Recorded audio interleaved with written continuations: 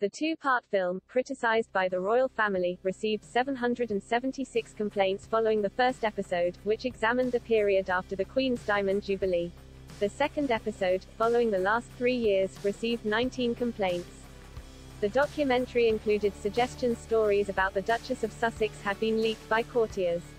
It also examined the relationship between the Duke of Sussex, 37, and the Duke of Cambridge, 39. In a statement given to the BBC, and shown at the end of the programme, Buckingham Palace, Clarence House and Kensington Palace said, a free, responsible and open press is of vital importance to a healthy democracy. However, too often it is overblown and unfounded claims from unnamed sources that are presented as facts and it is disappointing when anyone, including the BBC, gives them credibility.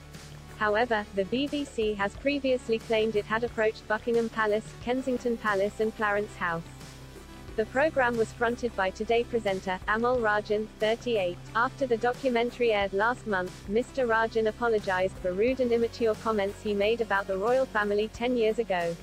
Mr. Rajan described the Queen's Diamond Jubilee as a celebration of mediocrity. In a column for The Independent on the Diamond Jubilee in January 2012, Mr. Rajan accused the Duke of Edinburgh of being a racist buffoon and described Prince Charles as scientifically illiterate. Writing on Twitter on December 2, Mr. Rajan said, in reference to very reasonable questions about some foolish commentary from a former life, I want to say I deeply regret it. I wrote things that were rude and immature and I look back on them now with real embarrassment, and ask myself what I was thinking. I would like to say sorry for any offense they caused then or now. While the BBC did receive close to 1,000 complaints, in April the broadcaster received 109, 71 objections for its coverage of Prince Philip's death.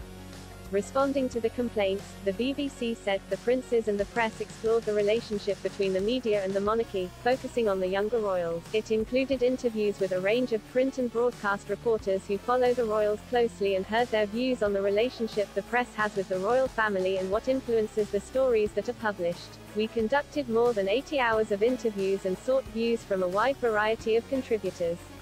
This included approaches to Buckingham Palace, Kensington Palace and Clarence House for comment or for a representative to be interviewed for this series. A joint statement issued by them was included in both